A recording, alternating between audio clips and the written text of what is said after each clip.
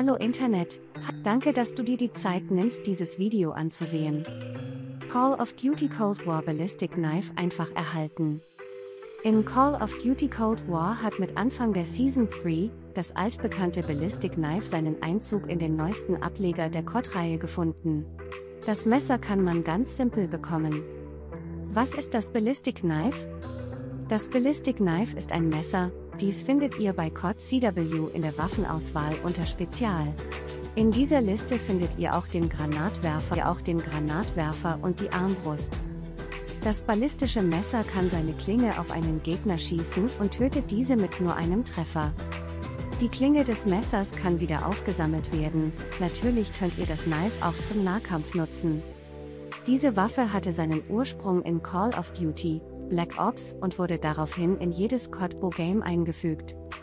Ballistic Knife im Multiplayer.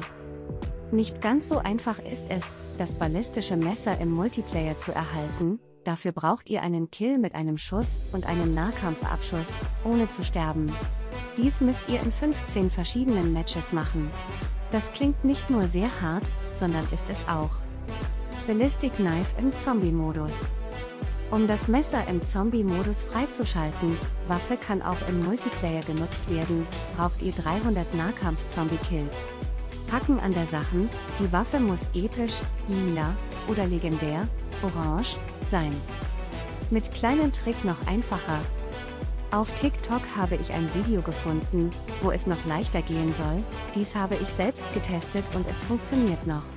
Ich habe es allerdings bei Ausbruch getestet, man benötigt zwingend eine epische oder legendäre Waffe. Startet mit dem Kampfmesser in eine Runde Zombies, sucht euch eine epische oder legendäre Waffe, egal welche, wechselt auf die Waffe und tötet Zombies im Nahkampf. Nach 300 Kills erscheint die Meldung, dass ihr das Ballistic Knife freigeschalten habt. Für mehr Tipps, besucht doch mal meinen Blog www.magnethelmspielt.de